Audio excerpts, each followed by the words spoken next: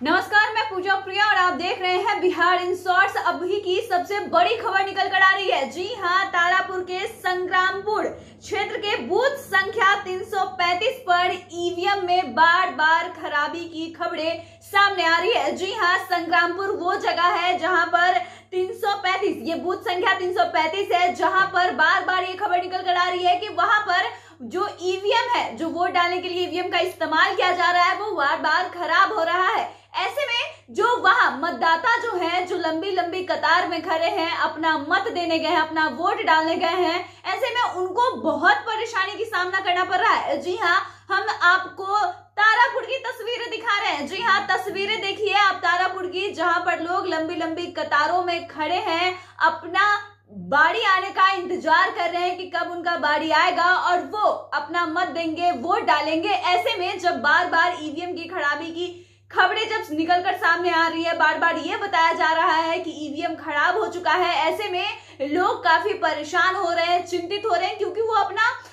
काम छोड़कर सुबह सुबह मतदान करने पहुँचे हैं। आपको बता दें कि आज सुबह सात बजे से ही तारापुर में वोटिंग हो रही है।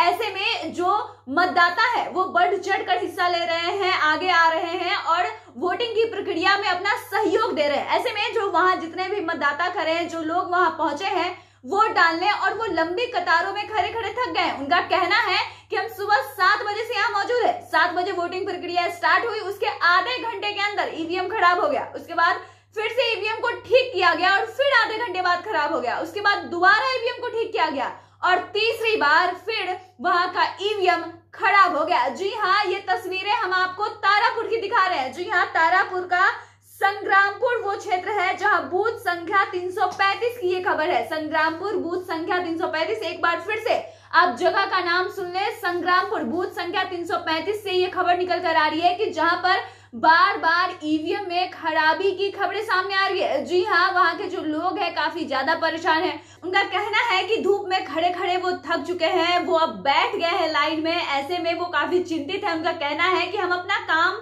धाम छोड़कर मतदान करने आए थे कि सुबह सवेरे मतदान कर कर अपने काम पर लौट जाएँगे।